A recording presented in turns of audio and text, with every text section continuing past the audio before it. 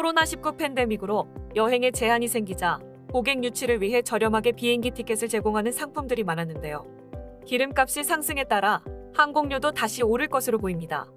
최근 몇 주간 유럽에서의 계속되는 분쟁으로 인해 기름값에 영향이 가며 운전자들이 큰 골치를 겪어야 했는데요.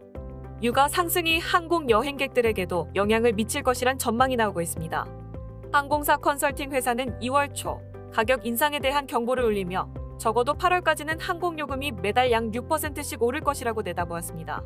이는 코로나19 유행 기간 동안 우리는 다시 여행을 떠날 준비가 된 수요 증가 및 연료비 상승에 따른 항공 운임의 상승도 함께 보았다며 이로 인해 항공사들은 항공료 인상 혹은 비용 부담이 불가피할 것, 백신 접종률이 올라가고 호주와 미국 등 다양한 나라의 국경이 개방되며 수요가 회복 및 급증했고 티켓 가격도 상승했다고 밝혔습니다.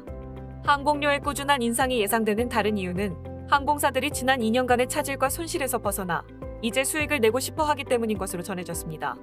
또 계절성 영향뿐 아니라 항공기 연료비의 급등까지 고려하면 8월까지 국내선 항공료가 매달 평균 6%, 국제선 항공료가 매달 평균 4% 인상될 것이라고 전망했습니다.